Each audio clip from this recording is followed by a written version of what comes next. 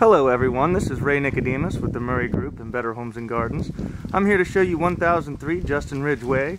Beautiful home built in the early 90s with just under 1700 square feet with many updates and the exterior excludes a brand new roof and an air conditioning unit. I'll see you on the inside.